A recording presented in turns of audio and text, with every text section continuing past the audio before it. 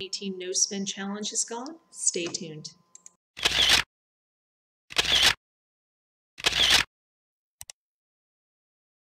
Hello everyone, my name is Misty Nicole from LadyPrefersToSave.com and today I am sharing with you a few things including my week 4 progress for my 2018 No Spend Challenge. Before we get started I wanted to share with you a few announcements.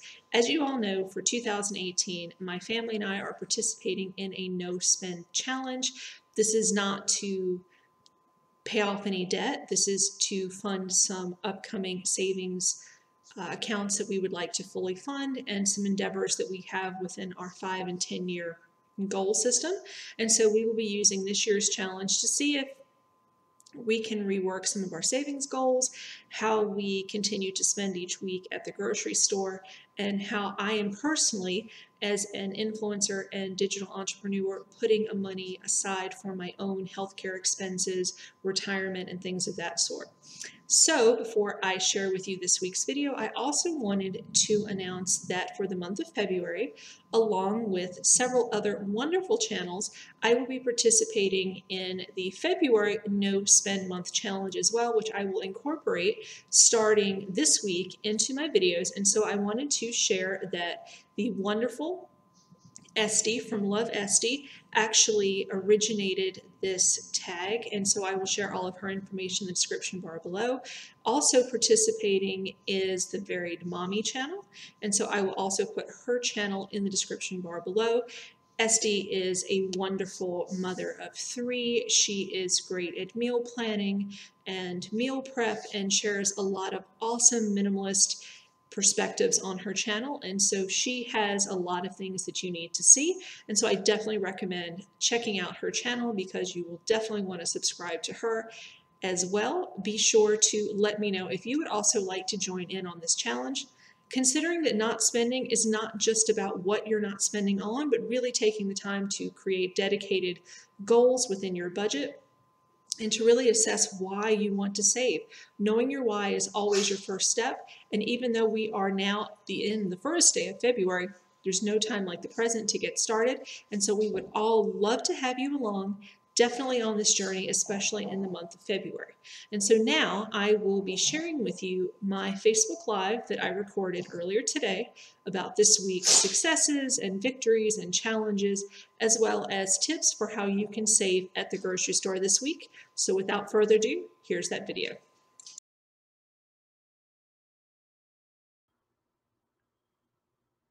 Hello everyone, my name is Misty Nicole from the Lady Prefers to Save.com and thank you so much for tuning in for another Wednesday Ways to Save live Facebook broadcast. And before I start off anything, I just want to apologize. I'm a little under the weather with sinus pressure and an impending cold. So if my voice sounds a little husky or I sound nasally, I apologize. Also, the weather has been very erratic in my area. And so my box lights for filming were not sufficient enough today, so you're going to see that light right over there, and I do apologize for that as well. And with that said, thank you again so much for tuning in. And today's Wednesday Ways to Save will again be broken into two segments. First, just a refresher of the 2018 weekly progress that I've had for my No Spend Challenge, a few announcements, and then a few tips. So I'm going to get started right now. And as you come in, if you have any questions, please leave them and I will address them after the broadcast in the comments section of the video. Thank you again for watching and I'm going to get started now. Okay, guys. This week, I want to announce that I am super excited again that I did not have to spend anything extra in terms of my no spend challenge, aside from, of course, groceries, gas for our vehicles, and you know, just general living expenses, I didn't purchase anything extra or eat out or anything like that. And I would say going into the one month mark for this challenge, things have gotten a whole lot easier. And I'm really excited about that because, you know, initially I had reservations about doing a full year challenge because, as you know, I've done monthly and seasonally challenges in 2013 and 2015, but nothing as extreme is a year challenge. And I do think it helps that I'm not just paying off debt as I did before, now that we're a debt free family, but that I'm actually working towards specific savings goals, I think really makes a big difference for me. coffee. And so I am super excited to have had two full weeks without any major Murphy Law inspired shenanigans in my house. And so I am super blessed to be able to say that. Now, with that in mind, I want to share that once again, we do have, for anybody who's interested, a 2018 No Spend Community Accountability Group that I will link the information um, below in the description bar when we're done. I also have a brand new page that I wanted to let you all know about as part of the Lady Prefers to Save fan page. I actually started a new group this week. It is a ladies accountability group, and it's for people who may not be on board with the 2018 No Spend Challenge, but really want to delve in and have a community of like-minded people that they can share ideas off of. This, of course, is a judgment-free area. Whatever your current situation is in terms of your finances, you are by all means welcome, no matter your walk of life. I would love to have you come on in and let's share how we can better our finances and just live a better, more successful, debt-free life together. And so I will link that below as well. And as always, I am still doing the no spend challenge. We're doing it on YouTube. There's actually a few ladies and I that are doing videos through the month of February. I will list that information down below as well. So now for this week's tips, I, I really wanted to delve into something that's still a lot, you know, I don't even want to say a little, it's a lot controversial for a lot of people. And that is zero waste living. And I want to share that one of the biggest reasons that I became a zero waster and have a zero waste home and maintain a zero waste standard within that home is was first and foremost to save money. The actual environmental efficacy came as a secondary note. Now that's very controversial to say that, but it is the truth. And I have found that zero waste living ultimately saves me quite a bit of money on my grocery bills. And so I wanted to share some of the ways that I use zero waste living to save at the grocery store. So that's what this week's broadcast is kind of going to be about. And some of the ways that I do that is that number one, I shop at single use stores. And by that, I mean, I don't shop at box stores that have multiple departments. For example, say you were to go to a Walmart superstore you may have your children in tow. And it might be a financial difficulty for you that week to be able to get your household supplies and groceries and have to go by the toy department.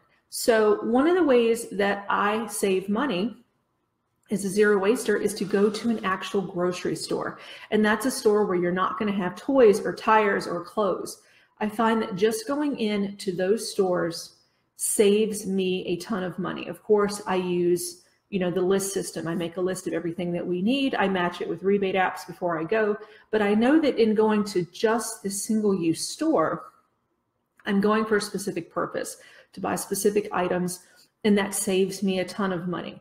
I also know that if I go to a single use store, I'm not going to be tempted to buy as many random plastic throwaway items that you would if you went to a big box store. And that includes stores like Costco, Sam's Club, and BJ's wholesalers, because you're going to have those promotional items on your end cap that they're trying to liquidate stock. You're going to be tempted. And even if it's $1.81 or 81 cents or $2, you probably don't need it and you don't need it in that much of a bulk. And so for me, I avoid temptation.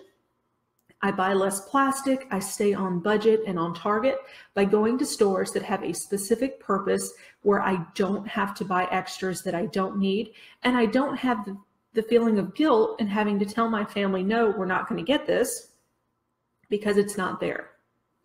And so the second way that zero wasting helps me save at the grocery store is by the use of reusable bags and produce bags. And this has been a game changer for me. I actually use a myriad of canvas bags. Now, some of them are promotional bags that I receive as an influencer from companies, and some of them I have purchased on my own. But I find that you can go to stores like Home Goods or TJ Maxx and you can get plain canvas reusable washable bags for under $3. These bags are awesome. They really last you don't lose your produce because it fell on the ground, or you don't have a glass jar shattered because it fell in a plastic bag when the plastic bag handle broke. I also don't have to make an extra trip back to the store to return plastic bags that I'm not going to use. And so that to me saves a ton of money. And the best benefit of using your own bags is that it sets a limit on the amount of things that you buy. For example, if I go into my local grocery store with three bags and a list, I know that each of those, say, 16 items that I need are going to fit in one or two of those bags. And I leave one extra bag just in case there's a stock up item that I know that I might want, or if I have larger items such as pineapples or papayas or things like that, I can accommodate that in. But I'm not going to buy more groceries than are going to fit in those bags. I'm not going to buy more produce that will fit in my reusable bags. And so going into it, if it's not going to fit, I'm not going to buy it. And that has saved me a ton of money because you can often go into the store and when you don't have to worry about the number of bags that you're going to bring in with you, you can buy more stuff. You can accommodate that. But if you go into it with, I will not fill up more than this square footage right here, it's a game changer. I actually will set my bags straight into my cart. I will fill them up. I will then go to self checkout and pull a individual bag, the items out of said bag, put them back in it. Very easy, very self sufficient. And again, you save a ton of plastic in the process, which is a total bonus.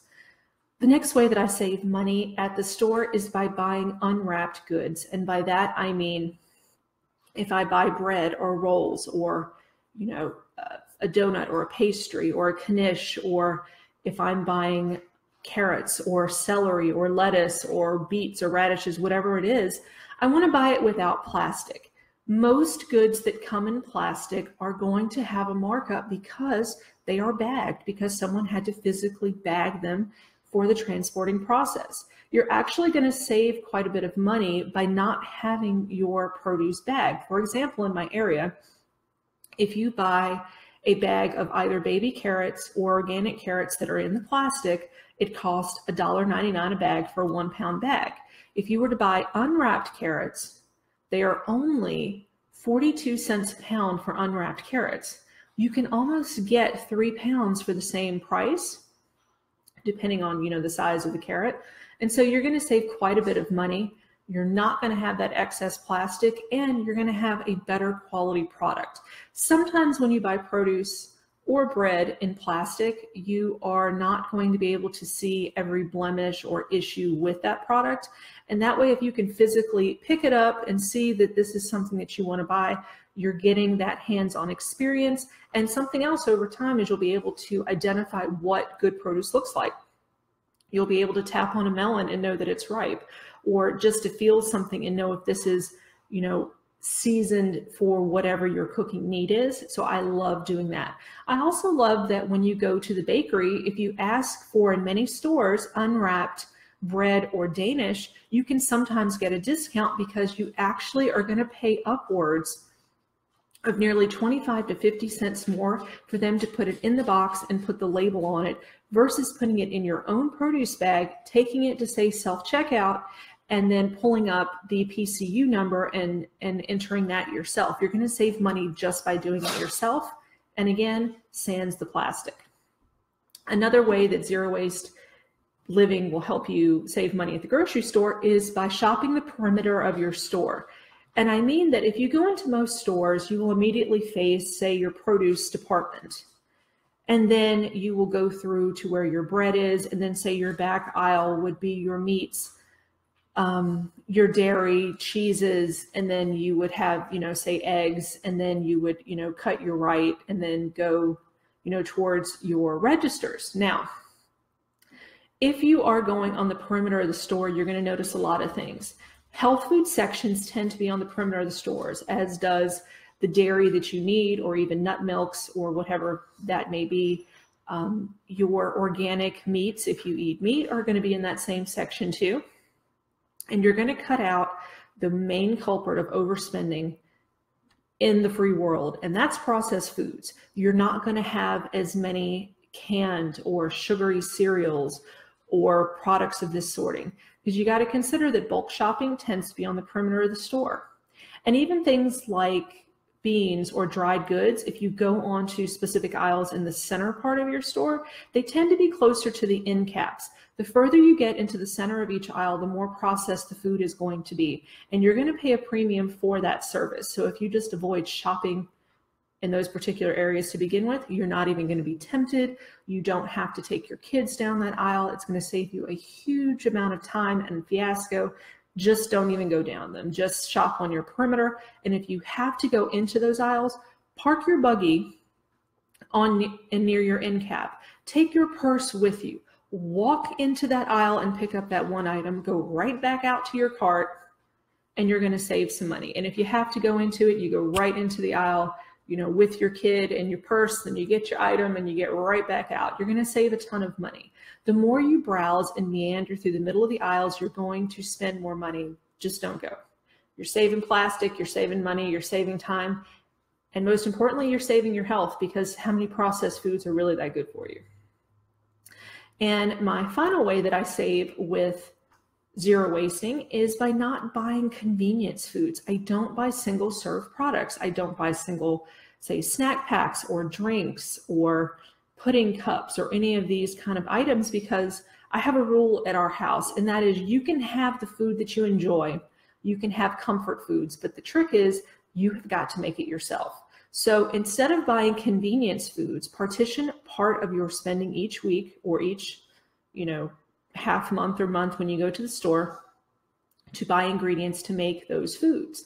And then you go home and you have them readily available. Or say you make them in bulk and then you can put them in individual mason jars and have them ready to go. I find that if I make my own convenience foods, I save in a couple ways. And that is I'm not paying a premium price at the store. I can control the ingredients and the toxins within my food. I know that my food is a higher quality because I'm making it myself. And as someone who has food allergies, this is especially important, or if your children do.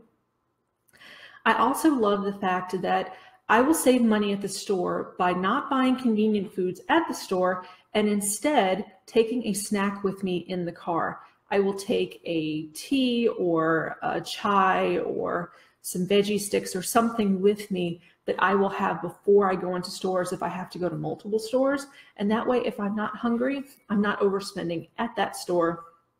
I'm not going to have a whole bunch of single use plastic products that I either have to pay TerraCycle to get a you know receptacle to mail somewhere or they would normally have to be thrown in the trash because a lot of those containers for single-use products actually contain vinyl. And in many places in this country vinyl is not recyclable and more and more glass isn't either. So a lot of those products are not going to be able to be disposed of properly. They're overly expensive they're full of toxins and you really don't need them so guys, those are the five ways that zero waste living has helped me save hundreds of dollars at the store. I get to be a more efficient shopper. I get to not have the struggle of telling, you know, the little one what they can't have because we're just not even gonna go there. We're not going down that aisle. We're not looking at sugary cereals. We're not looking at small animals who started a beauty shop product line, no Polly Pockets, none of that. We're not doing that. And so we're going shopping, we're getting food. And instead of worrying about what we're not going to buy, we're going to talk about when we're in store, what we are going to buy, why it's healthy, why we're eating it. And I love the fact that you can show your family the proper way to grocery shop. And that is a skill set that your kids will benefit from decades to come. Be that parent who doesn't have to yell, but spends their time instead explaining how living a healthier life is a more affordable one. So guys, thank you so much for watching. I truly appreciate you tuning in. Again, after the broadcast, I will be putting the links to those groups and my YouTube channel in the description bar below. Within the next couple hours, I will be releasing a new PDF printable for you guys on how zero waste living will help you save at the store. That will be on the ladypreferstosave.com slash printables. I will put that link in the description bar for that as well.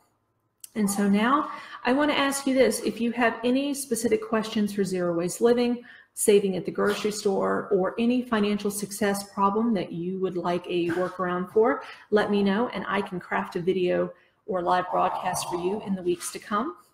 And as always, thank you again for watching. Please be kind to yourself and to others and have a wonderful rest of your day. Thank you so much for tuning in. Right, everyone, those were my five tips from today's Facebook Live video on how to save at the store using zero waste methods. I hope that they will inspire you and have you rethink how you are saving at home in the most ecological and efficacy prone ways that you can. Now, before closing out this video, I wanted to again leave a few shout outs to some channels that are creating new and better ways for you to save all in different kind of formats. And the first, of course, again, is Love Esty. She is an amazing mother of three. She is a fellow minimalist, and she has awesome meal planning and meal prep ideas on her channel that you should check out.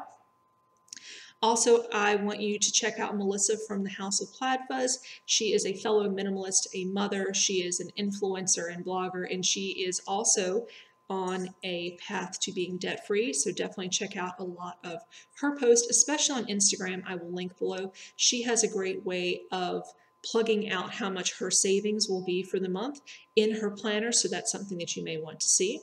Also, check out Roxanne from The Guy's Life. She is an awesome mother of four who is also like me on the Body Boss Method Health Plan. She actually introduced me to that, and she has a lot of great family videos, empowerment, uh, motivation, enthusiasm kind of centered focus. She also is doing more and more recipes and meal planning and meal prep videos, which could save you money. Also, check out Christopher from Worcester Pilates. He is an amazing instructor. He posts a lot of wonderful, wonderful plant based recipes that are very easy to follow, very affordable, and incredibly delicious, including one of his latest videos for Buddha bowls that I will be having again this evening because they are that amazing. So definitely check out all those channels below to help you on your own debt-free journey. Now I want to also ask, do you have any reservations about starting a no spend challenge? If you do, I would love to be able to answer them and to see if there's any way that I can personally help you. I'll also be linking in the description bar below some of my Facebook communities that you may want to join including my 2018 No Spend Community Accountability Group. I also have a secondary community, which is the ladies who prefer to save, which is not about not spending, but about being more of a savvy saver. So all are welcome. Please check that out. As well as my Facebook fan page, where I post articles and deal savings and a lot of varied things each day that may be able to help you stay on budget this season, especially in February. And with that, I want to thank you so much for watching. Please be sure to subscribe, turn on notifications, like the video, leave me a comment, and as always, please be kind to yourself and to others and have a wonderful rest of your day. And thank you so much for watching.